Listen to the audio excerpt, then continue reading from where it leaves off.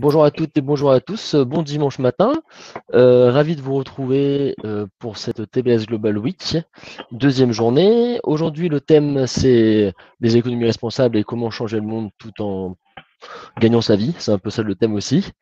Euh, j'accueille Fatoumata Ba, qui est du coup, alors, corrige-moi si je me trompe, board chair, investeur et entrepreneur euh, je connais pas, je connais plus ton le nom de l'entreprise que tu gères euh, là-bas, mais tu vas, tu vas, tu vas te présenter qui a fait du coup promo 2009. On a Yann Lemoel avec nous, qui est promo 2007, euh, de la Living Labs Federation, managing partner chez Pufferfish Partner et puis qui fait du kitesurf a priori à Singapour euh, de temps en temps.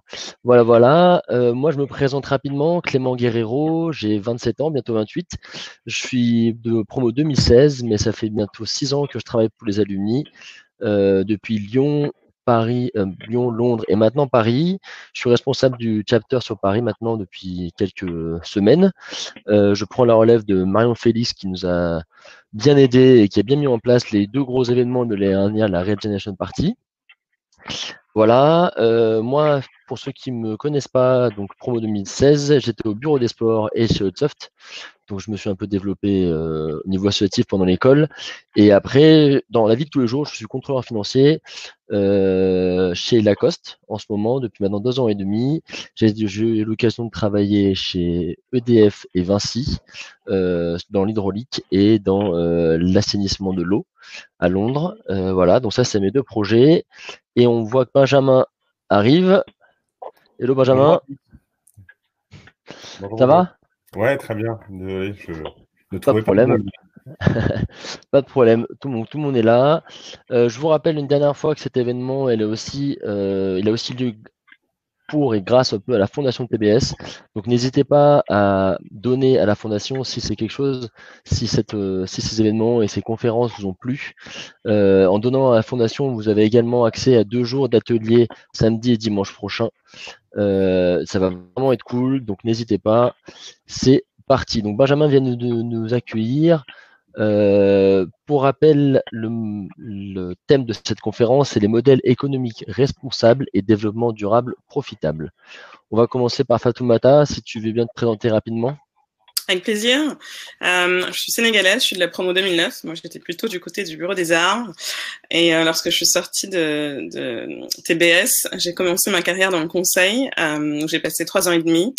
Euh, et à un moment donné, c'est intéressant parce que j'avais un travail qui était rémunérateur et auquel euh, à l'époque, j'ai excellé, mais je me sentais assez vide. Parce que quand j'étais petite, je voulais absolument contribuer au développement, de, notamment de mon continent, euh, du continent africain. Et euh, j'ai décidé de prendre un premier pari qui était de devenir entrepreneur pour créer des emplois en local, avec une thèse business qui était d'utiliser la tech pour euh, pour ce faire. Donc, je suis allée en Côte d'Ivoire en 2013. J'ai créé un tout petit e-commerce en local euh, qui s'est entre-temps implanté dans d'autres pays africains, comme le Nigeria. Et au bout de huit ans, maintenant, c'est une place de marché qui est cotée en bourse aux États-Unis et qui emploie 5000 personnes.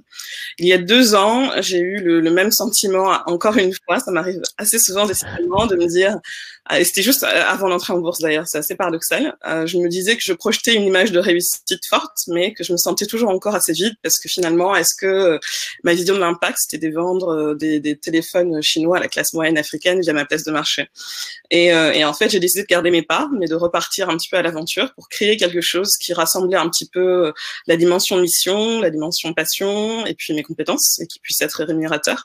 Donc j'ai créé un, un startup studio d'entreprise sociale au départ qui maintenant euh, a mué en fonds d'investissement, euh, qui est agréé par, par l'AMF et qui euh, lève, enfin qui clôt 60 millions d'euros d'ici la fin de l'année.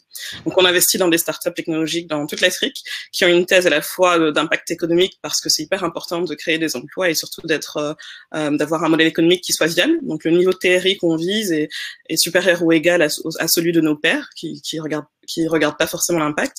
Mais derrière, nous, on a toute une, euh, une, une thèse sociale autour de l'accès aux services essentiels euh, de la population, autour de l'accès au marché euh, des PME, qui sont qui génèrent 85% des emplois en Afrique, et surtout autour de la création d'emplois, en particulier pour les femmes et les jeunes. Donc on mesure ça au quotidien via notre prisme d'investissement et c'est très exaltant. Ok, donc déjà énormément de projets en très peu de temps, mine de rien, et pas mal de changements. De parcours aussi. Yann, si tu veux bien te présenter aussi rapidement. Oui, bien sûr. Bonjour. Donc, parcours corporate, ingénieur aérospace. j'ai fait 15 ans, 15 ans dans l'aéronautique et, et, après 5 ans aussi en corporate, mais pas seulement de l'aéronautique. Des grosses sociétés, avec, euh, comme moi, les, les mêmes frustrations qui rentraient d'avoir une vie euh, qui était la vie avec les sports extrêmes, mes hobbies, la nature et tout, et puis, euh, et puis le monde du corpo. Et donc d'essayer de changer ça, d'essayer d'amener des valeurs différentes, d'essayer d'amener de la sustainabilité sur des industries qui, on va dire, qui n'étaient pas, euh, qui, qui, qui sont les plus proches, on va dire, sur, sur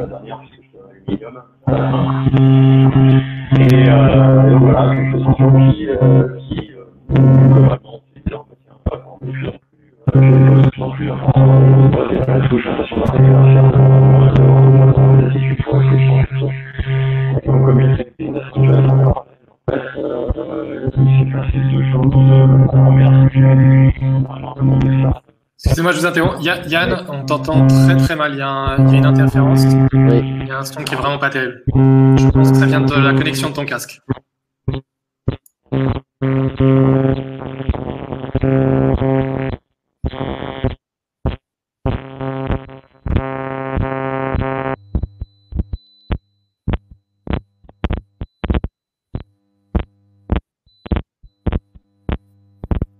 Allô? On t'entend plus du tout, Yann, et, euh, et le son est dégueulasse. On va le couper.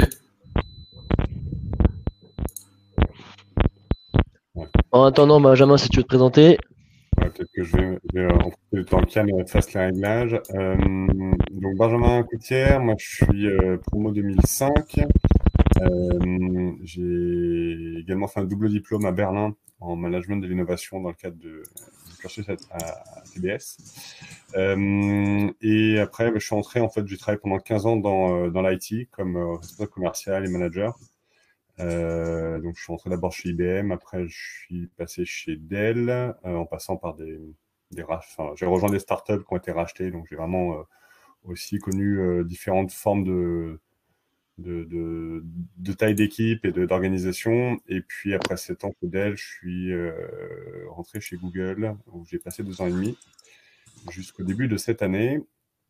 Et en fait, les je pense que mes 18, mes, mes, deux dernières années ont été assez, euh, assez intéressantes parce que plus, euh, plus je progressais, entre guillemets, plus j'avançais dans, euh, dans ma carrière et, et je, montais les échelons, puis je reprenais un nouveau challenge, je remontais les échelons, plus en fait je m'apercevais que cette course en avant me, me, me satisfaisait pas et que finalement c'était pas une question de, de ni de, de, succès commercial ou de, de, revenus ou de choses comme ça qui, qui me rendaient, euh, qui, qui, me motivaient ou de pouvoir ou d'influence.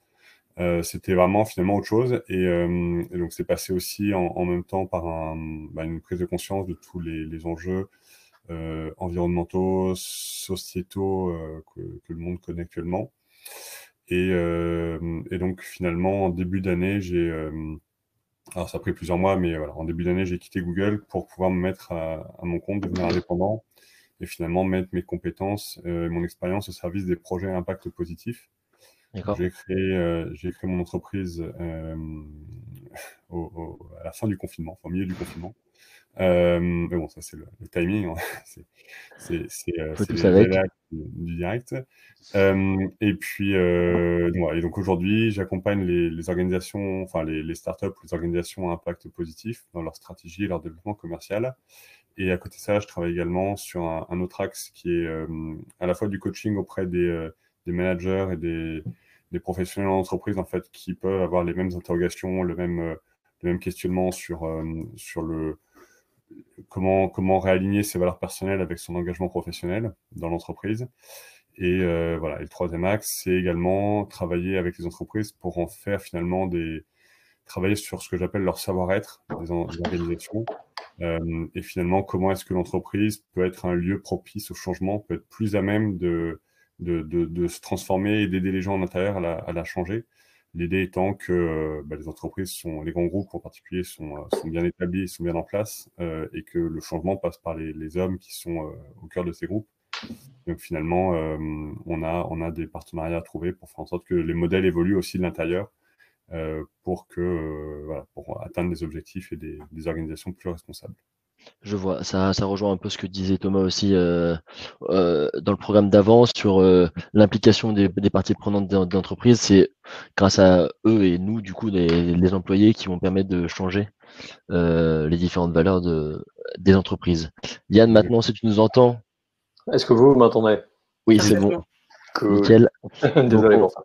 Pas de problème. On s'était arrêté, tu avais fait un, un peu de corporate, mais après, euh, c'est un peu coupé. Bah, enfin, ouais, en fait, je fais plus qu'un peu. J'ai fait 20 ans de corporate, en fait. Et, euh, et comme je disais, c'est en étant euh, business angel que j'ai découvert le monde de, un, des startups, avec une efficacité, une possibilité d'essayer, repartir, beaucoup plus de vivacité que ce que j'avais en corporate. Et j'ai l'habitude de prendre un exemple qui est grosso modo 20 000 dollars euh, c'était un peu le chiffre qui m'a ouvert les yeux dans le sens où euh, bah, quand j'étais en corporate, c'était grosso modo euh, le prix d'un billet pour aller d'une réunion qui servait à rien à une autre, une autre réunion qui servait à rien. C'est un peu le sentiment que j'avais à la fin. Euh, 20 000 dollars, ça peut être du précis pour une startup, ça peut leur changer la vie. Et, et, on va parler un peu de la, les ONG. 20 000 dollars dans le même temps, c'est des montants que on a mis deux mois à essayer de se battre pour envoyer au Brésil, pour envoyer des médicaments contre le, Covid aux, indigènes. Et avec 20 000 dollars, vous, arrivez à traiter euh, une centaine de personnes.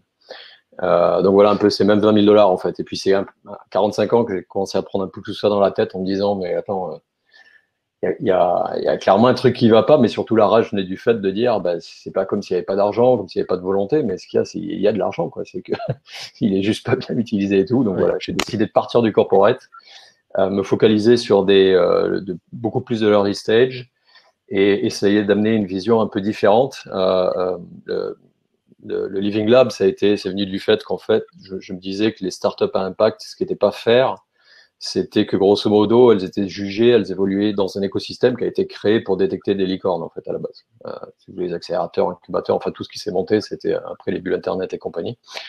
Et ça, c'était pas faire parce que aussi bien quand vous faites la chasse à la, à la licorne, euh, vous voyez 50 chevaux euh, de loin, euh, s'il y a une licorne et que les 49 chevaux les autres s'échappent, à la limite, vous en fichez parce que vous avez chopé votre licorne.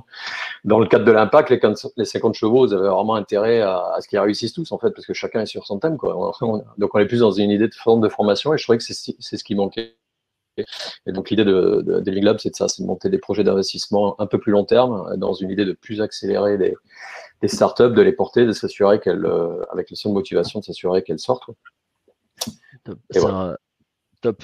Ça rejoint un peu ce que faisait Fatoumata qu'on a parlé euh, au téléphone il y a quelques jours sur euh, ton envie un peu de justement de cette dichotomie entre charity en Afrique et entreprise et cette volonté de d'investir de l'argent dans un endroit pérenne. Il y a toujours le, le, le slogan qui dit euh, si tu donnes un, poisson à quelqu'un, il, pourra manger une seule fois. Si tu apprends à pêcher, il pourra manger toute sa vie. C'est un peu ça. Euh, le côté charity, je pense qu'il est important pour avoir participé à plusieurs, euh, à plusieurs, notamment pour vis-à-vis des enfants. Mais par contre, pour, pour instaurer un, vraiment un, mode, un modèle économique durable, ta volonté, Fatoumata, à toi, c'était vraiment de mettre en place des entreprises. Et comme tu dis, Yann, beaucoup, à la limite, beaucoup d'entreprises d'un coup, qui ont tous une envie de bouger et pas se focaliser sur seulement euh, le futur euh, Google ou le futur euh, Amazon. Quoi. Donc c'était. Absolument. Et, Clément, il y a quelque chose qui m'a frappé quand je suis allée à, à San Francisco, bien sûr, c'est un creuset de la tech et c'est assez fascinant quand tu es entrepreneur ou vis toi-même. De l'autre côté, euh, dans la rue, j'ai jamais vu autant de personnes sans abri ou de personnes euh, droguées. Et ça, ça, c'était pas en train d'émouvoir grand monde. Et il y a une, un, un, fossé d'inégalité qui s'est creusé avec l'essor de la tech là-bas. Et en fait, nous, dans un contexte africain, on peut pas se permettre la même chose parce qu'on a déjà un creuset d'inégalité. On a un milliard, un milliard de personnes qui se rajoutent pour lesquelles il faut accélérer l'accès à des services essentiels comme la santé et l'éducation. Et à côté de ça, comme je te indiqué, l'aide au développement, euh, si ça suffisait pour arriver au développement, ça se saurait. Et d'ailleurs, ce sont des montants qui sont assez finalement petits. Hein. Le, le, le, montant de l'aide au développement au global sur le continent africain, c'est autour de 60 milliards de dollars. Le montant qui est envoyé chaque année par la diaspora africaine via euh, du mobile money ou via Western Union à leurs familles pour les aider, c'est plus de 80 milliards de dollars. Donc si ce type d'investissement les rend productifs, euh, ils sont beaucoup plus impactants que, que de l'aide. Et c'est pour ça que justement c'est très important pour moi. Il y a beaucoup de thèses hein, dans l'impact investment et je dis pas que celle-ci est la meilleure, mais c'est vrai qu'en général il y a soit une volonté d'investir avec des retours économiques en dessous du marché et auquel cas ben, il faut encore plus aller chercher de l'impact euh, et même la performance des fund managers est, liée à cet impact supérieur, donc, le hurdle par exemple, le hurdle rate. Et il y a d'autres acteurs qui font le pari de se dire ben, en fait sur mon marché c'est quand même possible de, de délivrer des retours financiers qui sont au niveau ou supérieurs à ceux du marché, mais tout en ayant comme mission, comme objectif de départ et comme euh, euh angle de due diligence, de sélection et de développement du portfolio, euh, bah, des, des, critères de sociaux qui sont mesurables et clairs.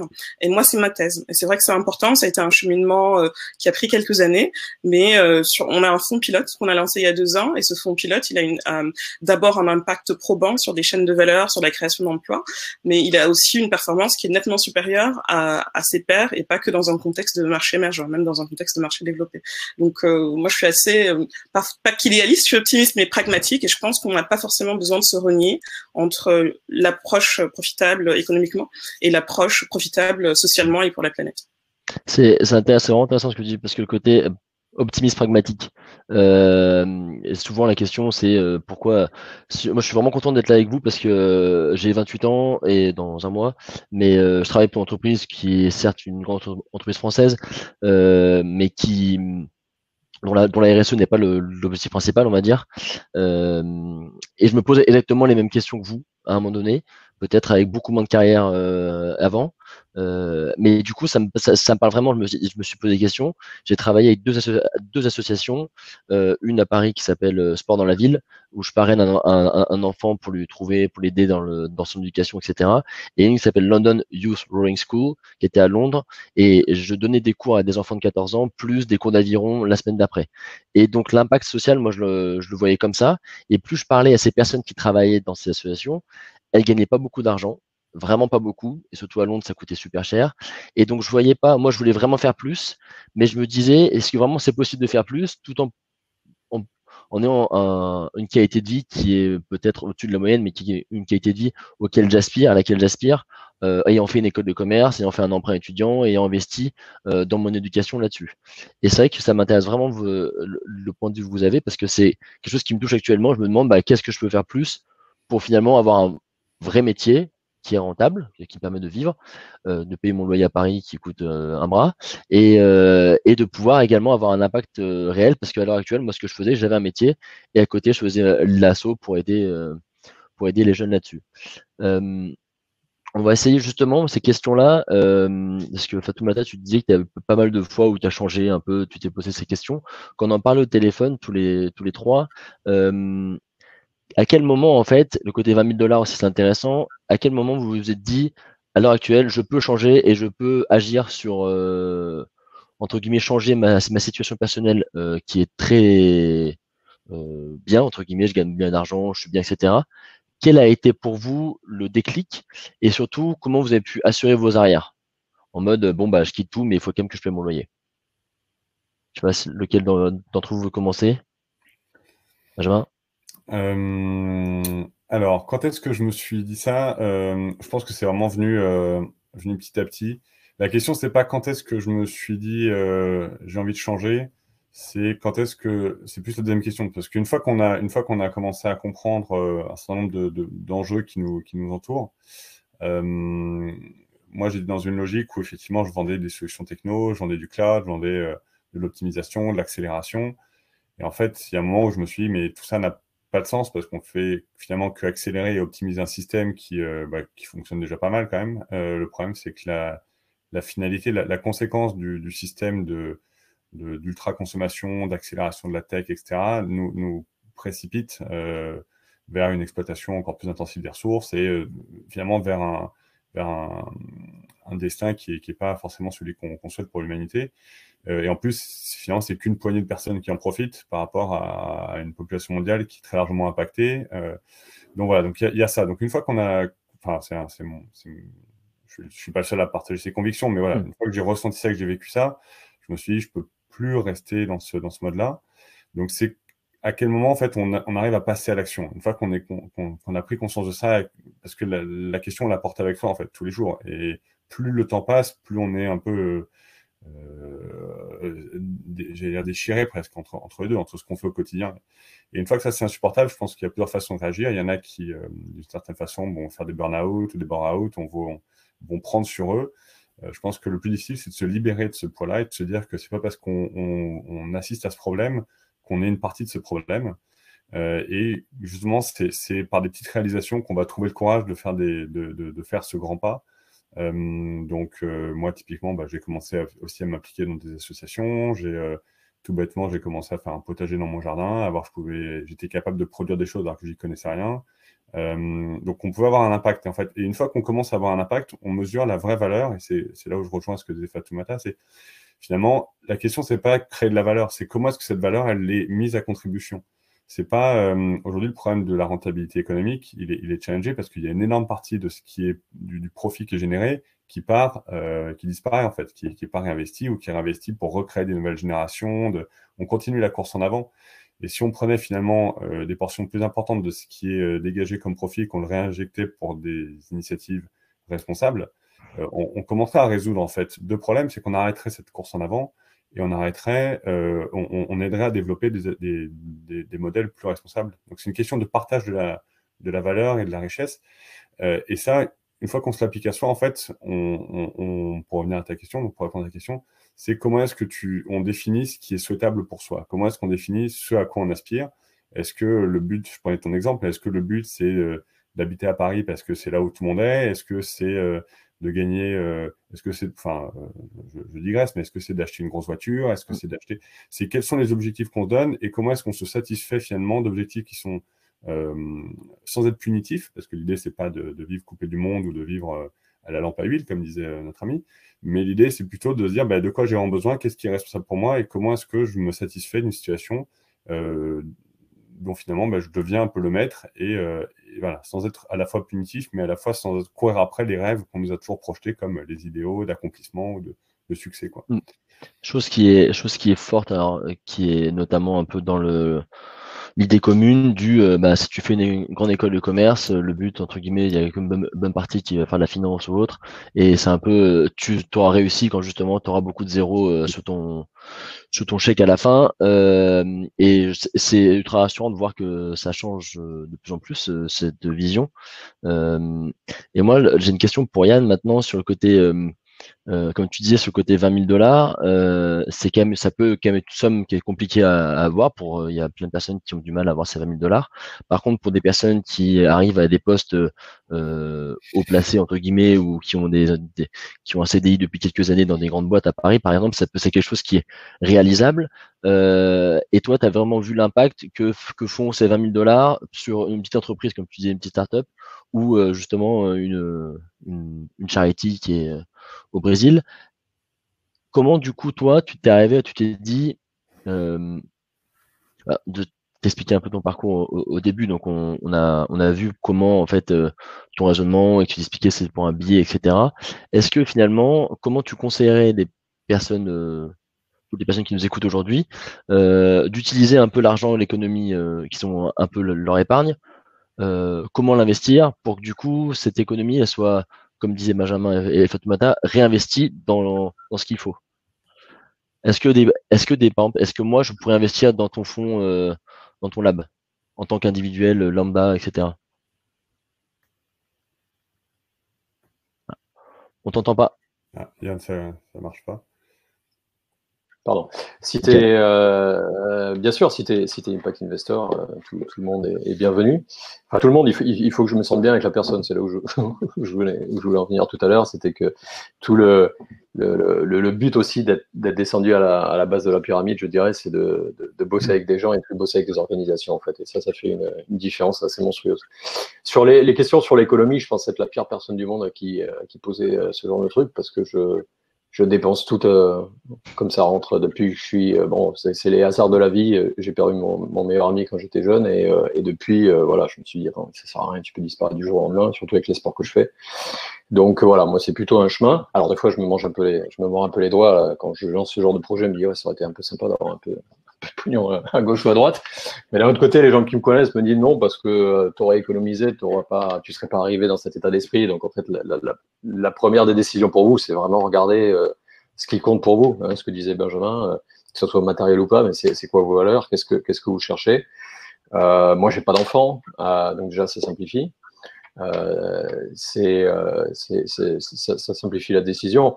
Ce qu'il y a, c'est une fois qu'on met le doigt dedans, en fait, moi, quand j'ai commencé à faire ça, j'ai commencé à aider la NGO au Brésil avec lesquels tout a démarré.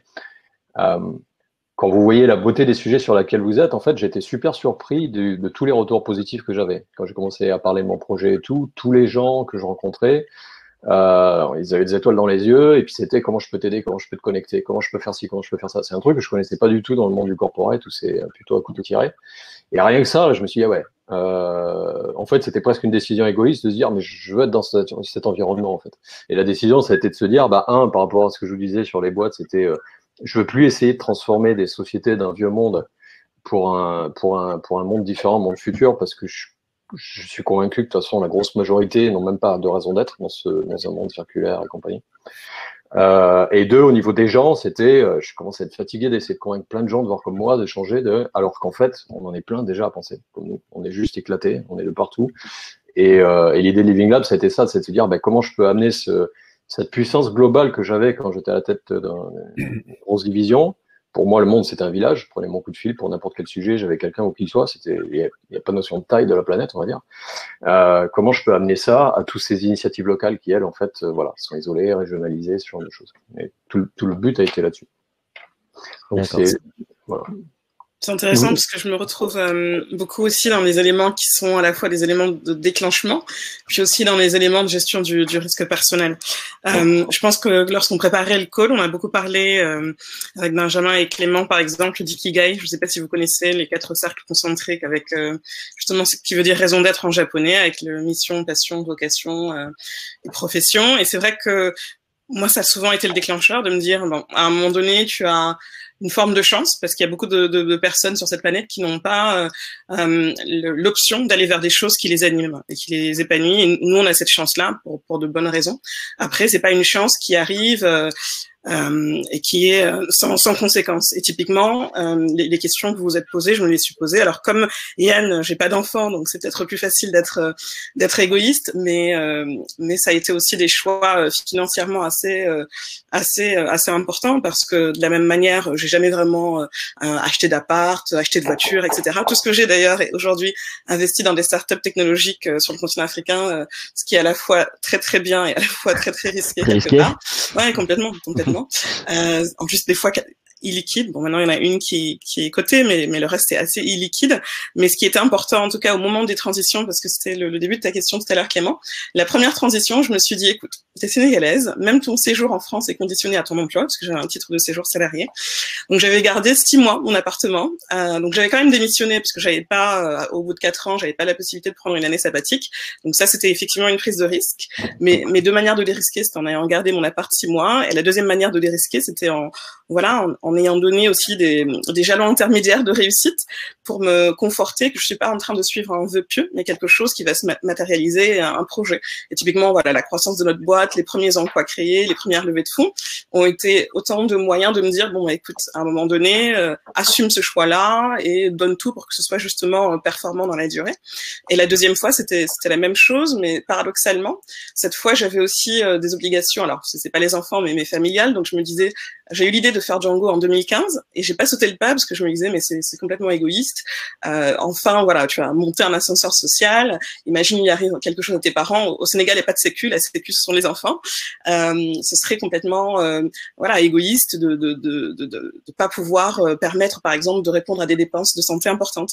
Et en fait, euh, j'en ai juste, simplement parlé à ma mère. Elle m'a dit mais écoute, euh, c'est ridicule, vis ta vie. en plus, tu as trois frères, t'es même pas l'aîné, donc fais ton pari et profite Et c'est intéressant parce que du coup, le déclic est venu en 2017. On en a parlé au début de l'année 2017. Et en février, j'avais démissionné, bon, en ayant une, une, période de transition de quelques mois parce que voilà, c'est important, c'est un projet qui m'a tenu à cœur. Donc, il y avait aussi encore une fois des jalons à délivrer.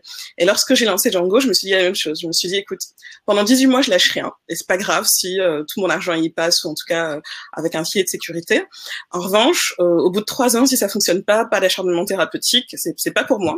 Et ce qui est important, c'est que j'aurais au moins pas eu de regrets et je l'aurais fait dans une phase de ma vie où c'était possible. Et, c'est vrai que, et justement, je pense qu'il faut pas euh, justement opposer le, type de risque parce que tout comme toi d'ailleurs Clément, au début, moi, ce qui m'épanouissait, euh, c'était très compartimenté, c'était l'engagement associatif. Donc j'avais voilà un travail classique dans le conseil, même avant le travail dans le conseil à l'ESC, je faisais beaucoup de, de, bénévolat en ZEP, des choses comme ça. Et en fait, au fur et à mesure, il faut se dire, c'est quoi le curseur personnel qui nous rend heureux, c'est quoi sa capacité de prendre du, du risque, c'est quoi l'élément déclencheur aussi peut-être, parce qu'il y a une résonance personnelle dans nos parcours. Et puis s'il y a une capacité à dérisquer parce que ça devient viable, c'est génial. Et si c'est pas viable, bah au moins euh, il y aura pas le regret de pas avoir essayé, qu'on a qu'on peut avoir une influence positive sur des sujets de société qui sont importants pour nous. Ce que tu viens de dire, c'est le point important. Pardon, je, je.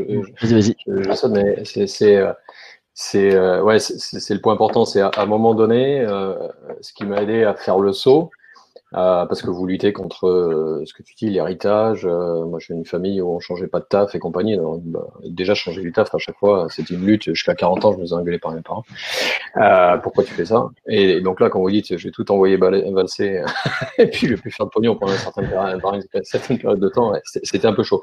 Et donc, c'est là où les gens et votre, votre cercle proche est important. Moi, c'est les amis, notamment des gens comme Julien que j'ai rencontré ici qui, euh, qui m'ont donné la force de faire ça à un moment donné, de, de passer. Mais c'était surtout, euh, par rapport à ce que tu viens de dire, Fatoumata, c'est exactement ça. C'était un moment où je me suis dit, euh, je vais avoir des regrets. Je vais avoir des regrets. Je, je, le tente, tant pis. Je me plante. A priori, le parti du principe est, je pense que dans la population, on n'est pas à plaindre. La plupart de, des auditeurs qui sont là et tout, euh, si vous mettez à quelque chose, on n'est pas abruti. Vous arriverez à, à, à, retomber sur vos pieds. Puis je me disais, si, si j'y arrive pas, je vais tenter ça et que j'y arrive pas, à la limite, ça va m'ouvrir d'autres choses, c'est pas grave. Je, il faudra que je change parce que je pourrais plus revenir. Une fois que vous êtes passé, vous pouvez plus revenir. je pouvez plus. je connais mon caractère. Donc c'était, euh, donc l'idée c'est plutôt ça. C'est un, vous, quelles sont vos vraies valeurs, qu'est-ce qui vous parle, ça. Euh, votre réseau, et, et, je reviens tout le temps sur le nom du réseau et les connexions, c'est ça qui vous donne la force à un moment donné. Et après, sur l'aspect financier, donc moi, j'avais calculé que voilà, je pouvais tenir un an euh, avec mon, mon package de départ dans la boîte. Euh, mais très rapidement, ben voilà, l'année elle passe hyper vite. Et puis là, euh, ben moi c'est ma, ma, chérie en fait qui, qui m'a dit, écoute Yann, euh, le changement que ça a eu sur toi depuis que tu fais ça, je veux surtout pas que tu reviennes dans l'état d'esprit que tu étais avant. Euh, on va serrer la ceinture, j'amène le pognon, continue, continue, continue. J'ai décidé de prolonger comme ça, plus. Donc voilà, c'est, c'est, il y a, y a, des risques à prendre à un moment donné, mais. Ah, c'est, inspirant parce que c'est un peu pareil ce que disait Fatoumata aussi, Yann aussi, il y a le côté on se fixe un peu nous-mêmes nos propres barrières. Euh, et ce côté, euh, et moi je vois entre guillemets de, mon jeune âge, euh, je me fixe énormément de barrières alors que je n'ai aucune raison de. Pareil, moi, je change de boulot, mes parents, ils me, c'est pas qu'ils m'en dissuadent, mais ils m'en parlent souvent aussi. Donc c'est vraiment le côté oser. Et ça, ça revient un peu à ce que disait Eric Queneau hier en conférence. Et de toute façon, il faut, il, faut tenter. il faut tenter. Et du coup, je vais jamais rebondir sur la question d'Anne Rivière, qui est notre nouvelle directrice depuis peu. Euh, que j'ai eu la chance d'avoir en, professeur et, euh, et, qui nous pose une question sur l'avenir des étudiants à TBS qui eux ont commencé euh, leur année avec la fresque du climat, donc pour leur montrer les enjeux environnementaux et, et qui demandent qu'est-ce qu'ils devraient aussi apprendre et développer pour, bah, pour, pour, développer des modèles à impact positif comme les vôtres. si vous avez des, des points de vue là-dessus. Moi, bah déjà, il faut aller sur le terrain, je pense, en fait. Prenez des sujets. Enfin, ça marche pour moi, je ne vais pas donner conseil, à limite, ça peut-être pas marcher pour mais moi, ce qui a fonctionné, c'était de se dire euh, allez vraiment sur le terrain, il y a des NGO de partout, il y a des. Euh, déjà, sachez ce qui vous tient à cœur. Moi, c'est. Je rentre dans le social via l'environnemental. Moi, c'est quand même l'environnemental qui, qui, me tient à cœur et la, la protection de la biodiversité. Euh, c'est une fois que vous avez choisi ça, c'est hallucinant le nombre d'initiatives qu'il y a dans le monde, euh, que vous pouvez trouver par Internet. Euh, euh. donc le, le, process que je dirais, c'est faites-vous votre thèse, de aller chercher ce qui existe et puis essayer de voir comment être connecté personnellement avec ces gens-là. Pareil, je reviens toujours à ça, essayer de trouver quelqu'un que vous connaissez qui va vous recommander. Dès que vous avez fait ce réseau et que les gens sachent que, savent ce que vous cherchez, de toute façon, ils vont vous proposer des trucs. Je, reçois des, propositions sur des super projets euh, tout le temps, trop. J'arrive plus à faire face. Euh, non, mais c'est, en fait, c'est ça qui est bien dans l'impact, en fait. C'est pas comme si vous dites, euh, tiens, je vais monter un truc qui va faire euh, vachement de pognon au détriment des autres. Là, vous aurez beaucoup moins d'amis. On trouve de requins. Là, là, vous êtes, il y a quand même une bienveillance qu'il qui, qui faut pas oublier et qui peut donner euh, justement du confort et, l'envie d'y aller, et, enfin, donner la force d'y aller, en fait. Euh, moi, je ferais sur le terrain. Je vois les gens, c'est un truc que j'ai regretté, moi, que j'ai pas fait en, en, école d'ingénieur. C'était pas vraiment ça à l'époque c'était euh, de partir pour un projet d'études euh, qui n'a surtout rien à voir avec l'ingénierie en fait. Partir sur une mission d'ONG, partir quelque part, euh, aller, aller tenter le truc, ça, ça vous ouvre. Ouais. C'est pour ça que moi j'ai mis 20 ans à y aller. Quoi. Donc, faites-le plus jeune. bon. Top. Benjamin, tu as quelque chose à rajouter?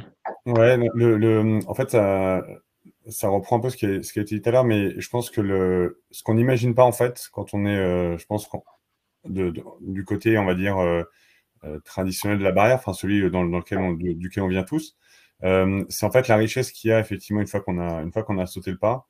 Et, et il y a beaucoup de gens qui sont, qui sont engagés, qui sont de bonne volonté, mais c'est juste que au début, on a tous l'impression d'être tout seul en fait, à avoir fait ce mouvement.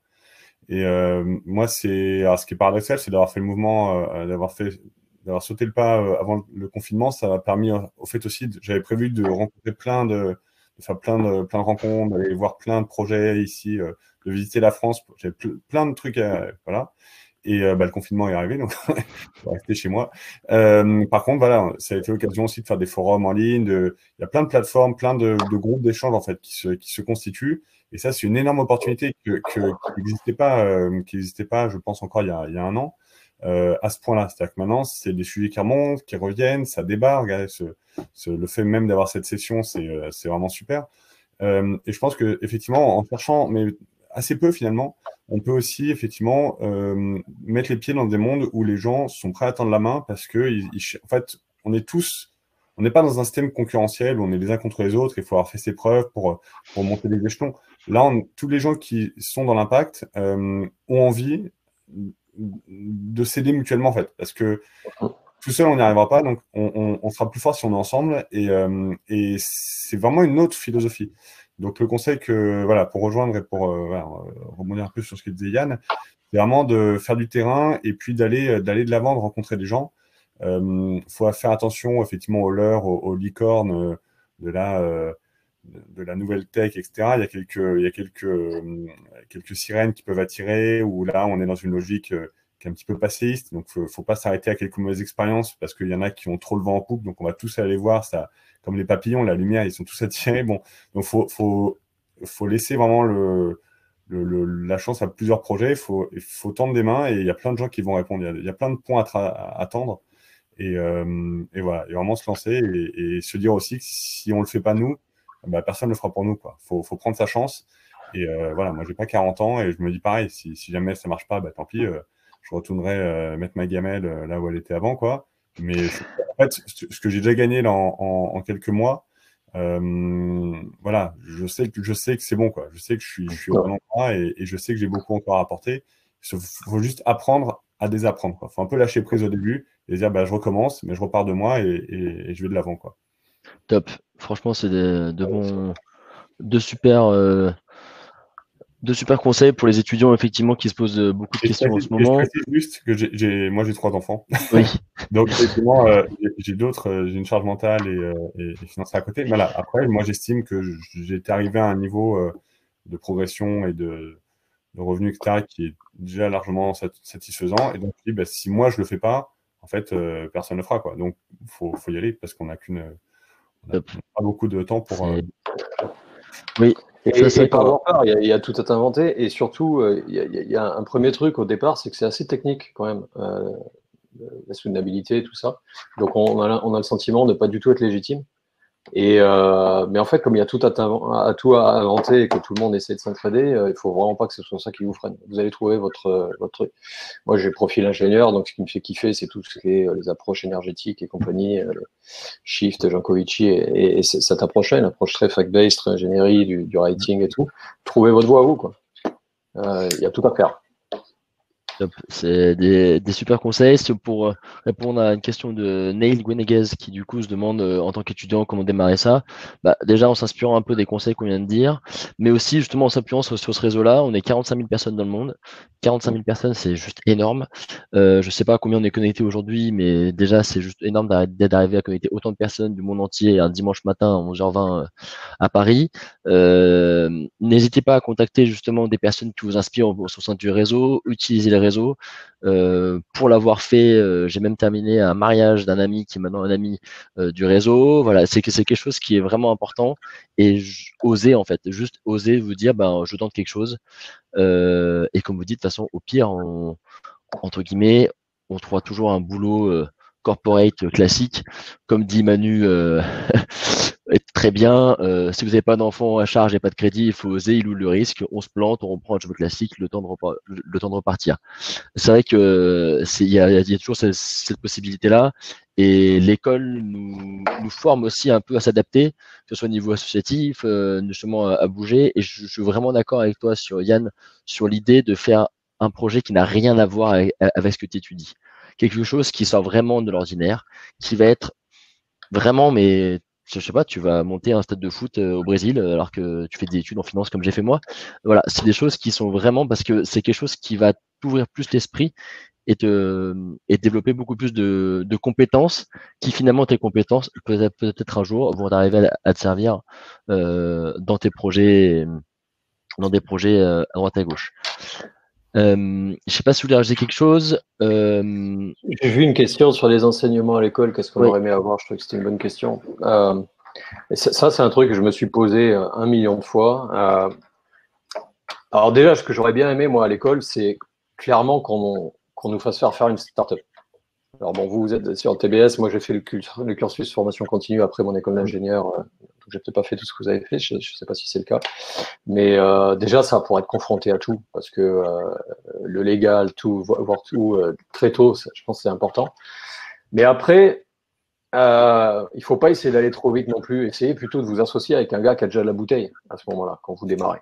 Euh, allez apprendre. Il y a, y, a, y, a, des choses que l'éducation remplacera, enfin, ne pourra jamais remplacer l'expérience. De toute façon, il faut, il, faut, il faut se prendre des vents, il faut se prendre des claques, il faut se planter, repartir, essayer il n'y a pas d'autre choix. Donc, je ne connais pas la, la, teneur de l'enseignement de TBS euh, précisément, mais a priori, donc moi, ça serait ça. C'est euh, les bases vraiment pour monter une boîte et regarder un peu tous les chapitres, quitte, que ce soit un projet sur l'année, euh, bon, chacun une petite startup. Euh, mais après, prenez votre temps, allez apprendre. Il faut apprendre avec les gens. Aller prendre sur le. C'est pour, euh, pour compléter là-dessus. Donc, moi, promo 2016, je sais plus si c'était en 4A ou en M1, euh, mais on avait effectivement un projet d'entreprise sur lequel il fallait développer un budget, mais c'était très, euh, c'était quand même, n'est pas l'aspect légal comme tu dis, l'aspect marketing il était très faible parce que c'était pas forcément ma, spécialité non plus, mais euh, c'est quelque chose qui, euh, je suis pas à l'école depuis maintenant plus de six ans, mais je sais pas vraiment du coup ce qui a été développé maintenant, mais c'est vrai que c'est quelque chose qui peut être ultra intéressant. Et notamment je sais que on avait participé à, quelque chose pour un cluster à Toulouse de robotique, je, je sais plus c'était vraiment de quoi était vraiment le thème, mais c'était vraiment une personne, un dirigeant d'entreprise qui venait à l'aide, qui dit voilà j'ai une problématique et vous en tant qu'étudiant est-ce que vous pouvez passer du temps dessus? Cette idée-là, elle peut être aussi reproduite, à voir si on peut mettre ça en place avec les alumni, moi j'y crois. Euh, bah, potentiellement des personnes de alumni qui, comme tu dis, eux ont, l'expérience, euh, ont des projets et disent bah moi j'aimerais bien euh, une dizaine de jeunes qui se bougent là-dessus, qui créent peut-être en plus de la formation. Donc euh, je sais pas euh, ce qui est possible de faire. Anne, tu nous diras, mais euh, c'est quelque chose qui, qui est clairement faisable. Et ben, je vois Emmanuel qui, mm. qui est d'accord sur le fait de s'associer avec quelqu'un plus senior si on a la chance de rencontrer un. Mais la chance de rencontrer un, elle se fait aussi par le réseau, parce que justement, ben, en parlant, en découvrant et en voilà, vraiment, j'insiste encore une fois parce que c'est quelque chose qui me marque quoi, depuis plusieurs années maintenant. Mais c'est ce côté réseau qui, réseau que ça soit personnel, comme tu disais Yann aussi, ce côté, ben, j'ai la chance d'avoir une famille, une copine, un copain qui m'aide et qui me soutient, mais aussi un réseau professionnel. Et n'hésitez pas à les, à les, à les contacter. Clément, peut-être une, petite suggestion, une idée en tout cas. Euh, il y a quelque chose qui se développe pas mal, qui est le, mécénat de compétences dans les entreprises. Euh, et je pense notamment à une, alors je sais pas si une entreprise ou une assoce qui s'appelle Les Vendredis. Euh, en fait, l'idée, c'est que les gens finalement passent quatre jours en entreprise et un jour, l'entreprise leur libère une journée pour aller s'investir dans une, dans une association, dans un projet à impact. Euh, et peut-être que, alors je sais pas, faut en discuter, euh, la pédagogie de TBS, mais peut-être que ça peut être une idée aussi de, de ménager les cursus pour que finalement dans la semaine il y ait une demi-journée ou une journée qui soit euh, qui soit dévolue à aller à aller monter ou, ou s'impliquer auprès d'associations locales ou de monter des projets, euh, parce que finalement je pense que c'est une bonne c'est un bon moyen pour à la fois garder bah, le fil avec ce qu'on fait et garder, même pour répondre à la question, ça permet en fait de travailler, d'avoir un emploi euh, normal entre guillemets, mais de, de, donner 20% de son temps pour aller faire autre chose euh, qui a un impact. Et où finalement on, on a aussi la satisfaction de, vraiment de contribuer à quelque chose et de trouver un épanouissement qu'on ne trouve peut-être pas forcément dans son travail au quotidien. Euh, donc, les stages, c'est super important en effet. Par rapport à ça aussi, pour les, ah, des stages, mais voilà, le mécénat de compétences, c'est quelque chose qui peut être intégré même dès le cursus, à mon avis. Ça pourrait être intéressant de faire, de faire quelque chose pour faire des partenariats auxquels on Est-ce que Fatoumata, tu as quelque chose à rajouter ce sujet? Oui, avec plaisir. Euh, je pense que euh, au-delà même de, de, rajouter des choses au cursus, je me suis posé la question, alors c'est peut-être déjà le cas, euh, de, de l'actualisation des cursus sur certains sujets. Moi, je me rappelle, j'avais adoré mon option euh, management stratégique des grands groupes, mais à l'époque, on nous apprenait toujours quand même que le, la raison d'être de l'entreprise, c'était de maximiser le, le, profit des actionnaires. Et, et, voilà, alors que maintenant, c'est vrai qu'on parle plutôt de stakeholders capitalism et que euh, je pense l'exemple de nos parcours montre aussi qu'il y a un point d'équilibre peut-être entre générer du profit et être euh, voilà euh, people profit planet comme on dit. Donc aligné sur les dimensions euh, profit économique impact social impact environnemental. Et, et dans cette veine là dans cette réactualisation ce serait génial de montrer des entreprises qui y arrivent et qui font pas de greenwashing ou qui sont pas non plus euh, voilà juste dans, dans des dans des effets euh, d'annonce. je pense qu'en France, il y en a quelques-unes des entreprises à mission qui sont sérieuses et qui ont vraiment un impact fort dans l'économie. Il y a de plus en plus de, de, de, de personnes qui sont d'entreprises qui sont plutôt labellisées B Corp. Et donc, je pense qu'il y aurait des études de cas euh, qui, qui, peuvent être euh, des, des, des, éléments intéressants à analyser, parce que du coup, ça donne non seulement une impulsion, mais ça donne un modèle pour les créateurs d'entreprises d'une part, ou ceux qui sont à la tête d'un grand groupe et qui se posent la question de bah, comment on réussit un, un virage ou une, une transition euh, sur ces sujets. D'accord, top. C'est vraiment ça donne matière à, à réflexion. J'essaie de voir un peu ce qu'ils disent dans le dans le chat. Effectivement, Anne, je parlais bien du, du projet Sésame. On aura l'occasion d'en parler, ça c'est sûr. Euh, ce que tu disais, Yann, je rebondis là-dessus sur le problème de, mentorat entre alumni, étudiants, etc. On a essayé de lancer ça il y a quelques années, côté euh, parrainage, qui est qui n'a pas forcément été euh, euh un succès pour plusieurs raisons, etc. Ce qu'on essaie de mettre en place maintenant, c'est aussi un, parrainage un peu associatif pour le moment, c'est d'avoir une référence dans l'association justement qui, on va dire que le BDS, il a un projet d'organisation sportive, d'avoir des contacts spécifiques des personnes, des anciens qui travaillent dans le sport notamment, pour les aider à mettre en place ces, projets, euh, pour potentiellement trouver des boulots après, euh, par rapport, entre guillemets, euh, euh, passion, le sport, euh, l'art comme tu disais ou, autre. Euh, donc ça c'est quelque chose qui va être mis en place, qui est en train d'être mis en place, mais qui est vraiment ultra important, c'est sûr. Euh, et, le, mentorat, pardon, ça, reprend aussi un, un, problème sur une question que vous posiez avant, c'est dans la transition professionnelle, comment on fait le pas Commencez par ça déjà. Euh, au bout d'un moment, vous avez de l'expérience, allez voir des startups, euh, coachez-les, donnez-leur donnez -leur des conseils, même bénévolement. Déjà, vous allez voir le, des trucs qui vont vous paraître bêtes parce que vous nagez là-dedans depuis des années. Euh, vous allez voir l'impact que ça peut avoir sur un jeune qui lance sa boîte, qui ne voyait pas, qui est submergé de plein d'infos, et vous allez voir l'impact que vous allez avoir. Et vous commencez à mettre le doigt comme ça en fait. c'est bonne, bonne, transition, c'est clairement ça. Ce que Cathy nous parle du nouveau projet en trade euh, qui a été mis en place. On a du mentorat, on a du conseil vraiment purement RH pour refaire un CV par exemple. Euh, c'est des alumni au service d'alumni, qui soit gratuitement, soit au tarif préférentiel, ça dépend des différents services. Euh, je vous conseille vraiment d'aller voir ce, ce service-là. On a l'accompagnement, du coaching, également des offres d'emploi possibles et des relais experts qui sont vraiment des personnes comme vous et moi, alumni, qui euh, peut-être sont experts sur un sujet, je sais pas moi, sur euh, comment faire une belle moustache ou, euh, ou comment se payer le matin. mais voilà, c'est et il n'y a aucun problème pour partager ces connaissances-là. ensemble. Et c'est vrai qu'il faut vraiment profiter de, ce réseau-là. J'essaie de rebondir sur Julien qui nous parle de combiner profit et durabilité, c'est canon. on ne peut pas optimiser un modèle sur plusieurs variables à la fois. Comment on priorise? Quels compromis sont bons compromis sur le profit ou l'impact du coût? Très bonne question. Qu'est-ce qu'on met en avant Julien, je suis d'accord et pas d'accord. Euh, parce que justement, euh, si tu regardes, il y a un Global Impact Investing Network qui publie chaque année euh, l'analyse de la performance des fonds dans lesquels ils, investissent. Donc là, on est sur des fonds euh, des, des, fonds structurés, qu'ils soient cotés ou non régulés. Et ce qui est intéressant, c'est que justement, ils font cette analyse de se dire, euh, il y a des acteurs qui choisissent de, de, de, de, viser une performance économique moindre que le reste du marché, ce que j'ai indiqué tout à l'heure, mais auquel cas, l'incentive pour des financiers du développement d'investir chez eux, c'est de se dire qu'ils ont un supplément d'âme sur la délivrance de, de l'impact. Alors, ou en forme d'impact qualitatif, ou bien en capacity building, etc. Et, et ça, c'est assez bien documenté. En revanche, il y a un deuxième groupe, et c'est celui auquel j'appartiens, et je parlais, j'en parlais tout à l'heure, qui dit, bah, c'est possible d'avoir les deux, euh, et, par contre, il y a des conditions pour avoir les deux. Euh, et, et, par exemple, nous, notre approche, c'était de se dire, une startup, qu'est-ce qui fait que c'est risqué au début, que ce soit une entreprise sociale ou une entreprise, euh, voilà, qui n'a pas forcément une mission euh, de départ.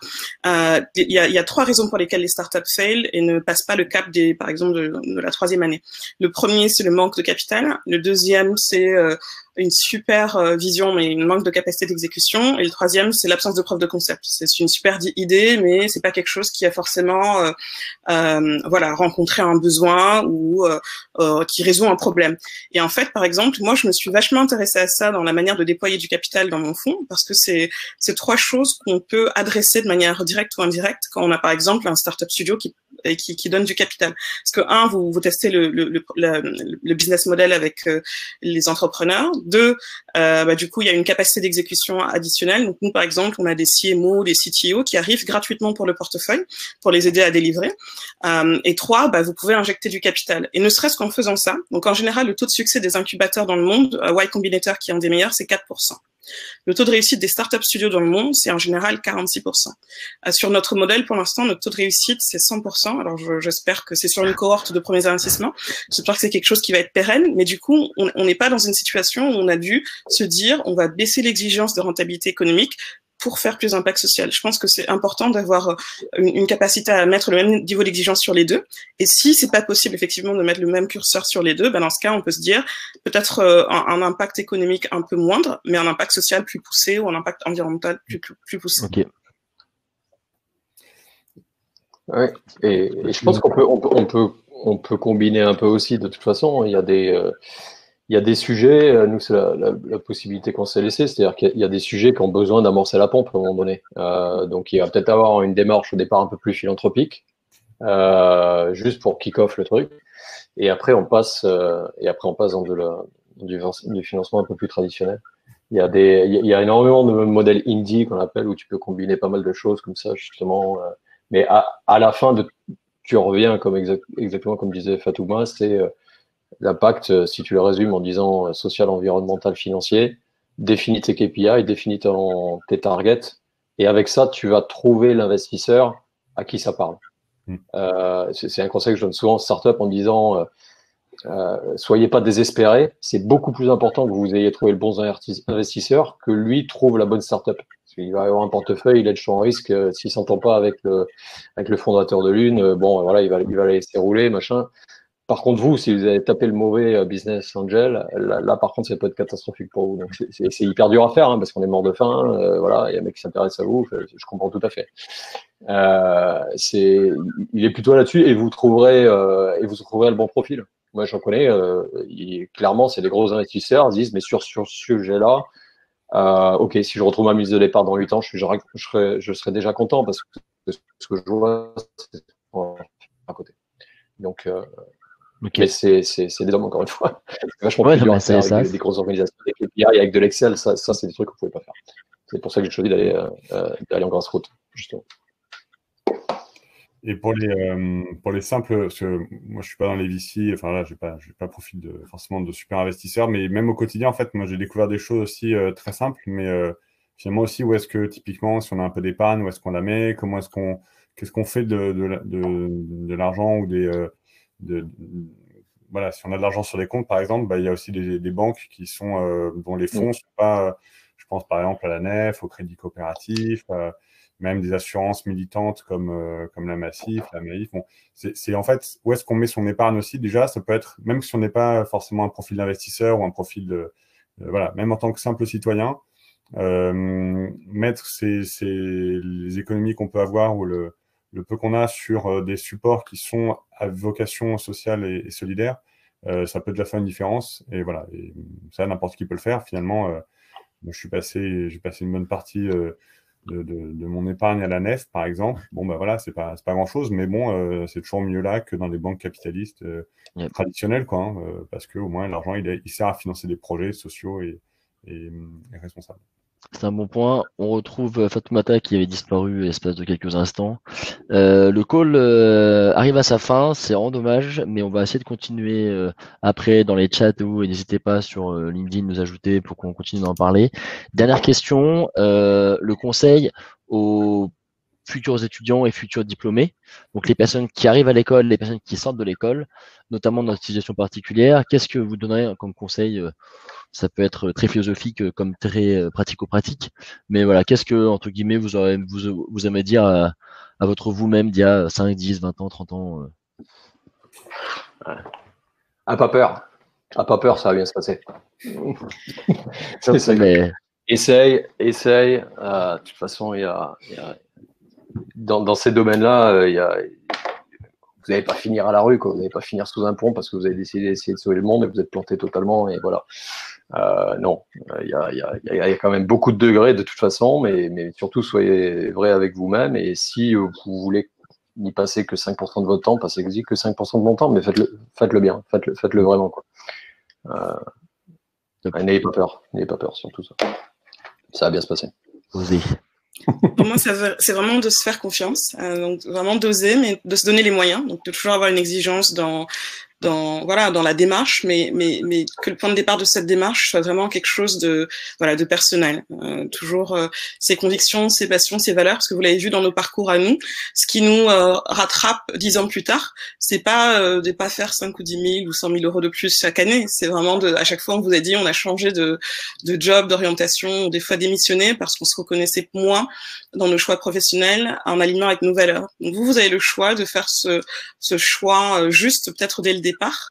Euh, mais faites-le de manière effectivement à aussi concilier vos autres obligations, bien entendu, hein, euh, euh et, et, que ça, ça, se transforme à la fois en histoire de réussite professionnelle, j'espère, mais aussi en histoire de d'épanouissement personnel surtout. Top. Ouais, Benjamin. C'est vraiment là-dessus que, que, je reprendrai. Moi, c'est effectivement euh, finalement challenger un peu les raisons qui nous ont amenés euh, euh, dans une école, tout aussi bonne soit-elle. Hein. Franchement, TBS, on a la chance d'avoir un, un enseignement top et, d'avoir après un réseau qui est, qui à disposition. Mais euh, faut pas s'y arrêter et rentrer dans les rails euh, qui nous ont amenés là. Je pense qu'il faut aussi se challenger assez vite pour dire voilà, qu'est-ce qui finalement, maintenant que j'ai ça en poche, je sais que je peux faire un peu, un peu ce qui me plaît. Ça tient qu'à moi de, d'identifier là où je veux avoir un impact et, de se lancer quoi. Parce que finalement, euh, voilà, si, on le fait pas, si on le fait pas tôt, en fait, on peut vite rentrer dans le rail et après se mettre des œillères et, vivre sa vie comme comme on, a, on, a l'habitude, on l'a toujours projeté, et on passe à côté d'une expérience formidable qui euh, peut vraiment commencer comme des Fatoumata par juste quelques engagements très simples. Ça peut être 5%, ça peut être 10% de son temps, peu, importe, mais il faut commencer et on y prend goût. Et une fois qu'on est démarré là-dedans, ben, on trouve la confiance en soi et on trouve aussi euh, le, les raisons de se motiver, de se lever le matin. Top. Merci franchement, merci à tous. Euh, merci à tous les trois d'être là. C'était vraiment un super. Euh, vraiment, j'ai ultra kiffé de, de, de me réveiller à 7h du matin dimanche euh, pour préparer, etc. C'était un vrai plaisir. Euh, si on essaie de récapituler ça en, en espèce de trois phrases, ça rejoint un peu ce qu'on s'est dit aussi hier en fin de journée. Faire ce que l'on aime, faire ce que l'on croit et surtout oser. Osez, n'ayez pas peur. Euh, la vie est belle, la vie est sublime et elle continuera d'être belle malgré les échecs. Euh, j'ai que 27 ans et j'ai un peu d'échecs dans ma vie, ça va, je suis pas trop pour le moment, donc j'ai pas forcément vu beaucoup de choses, euh, mais mais j'y crois fortement et vraiment, comme vous dites, prenez quelque chose qui vous plaît, que ce soit social, environnemental, écologique, enfin ça peut être tout, et puis allez-y, allez-y. moi, je suis sorti de l'école il y a maintenant 6 ans, 5-6 ans c'est pas beaucoup, mais justement, le parcours euh, finance, tout tracé, etc., euh, je l'ai fait. Je suis plein dedans et je me pose maintenant aussi les questions. Et moi, ça m'a fait vraiment du bien de vous parler à tous les trois. Euh, personnellement, déjà, ça m'a remotivé sur plusieurs sujets. Donc, vraiment content d'avoir pouvoir organiser ça. merci à toute l'équipe d'avoir organisé toute cette TBS Global Week et qui continue, qui continue aussi grâce à la fondation. N'oublie pas de le rappeler, cette fondation elle a pour but d'aider nos prochains, les, futurs, euh, Yann Lemoyle, Benjamin Coutier, Julien Condami, Fatoumata, Clément Guerrero, on ne sait pas trop, les futurs, euh, en leur permettant d'avoir des études euh, et en les aidant. Donc n'hésitez pas à donner pour cette fondation. Julien, à toi le micro.